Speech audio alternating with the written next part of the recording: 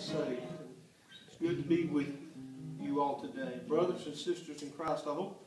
How many of you know Jesus as your Savior? Amen. Hey, you know that what that makes us? That makes us brothers and sisters in Amen. Christ. Yeah. I don't know any closer kin you can be. Because the ones that have accepted Jesus as their Savior and Lord, we'll be able to spend eternity in heaven Yeah. together. Amen. Amen.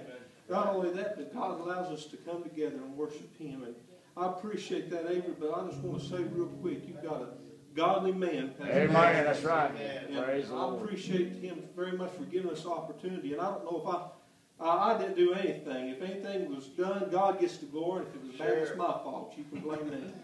But God's good. And uh, Amen. we're going to sing All a song. That's right. just a, just one that I tell you, this one I feel like is just packed with good sound theology. Good sound. Uh, if if our hearts can't be in tune with the words of this song, listen, it ain't going to be the way we sing it. But the message of this song, if we can't worship the Lord with this, we need to do an evaluation and ask the Lord to speak to our hearts and renew something within us. But it's truly, it's not in how good I've been. Listen, if I had to worry about how good I've been to get into heaven, I'd always be wondering. I'd be scared to death. I wouldn't have victory at all. That's right. But all my hope is in the Lord. Yeah. In the finished work of our Lord and Savior Jesus Christ. Christ